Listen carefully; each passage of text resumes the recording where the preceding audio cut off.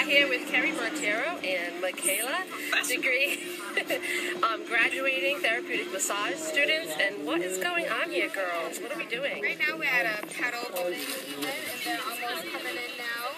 When they come a little sooner, we're gonna go set up at that station. And what is this paddle? Standing up 34 miles.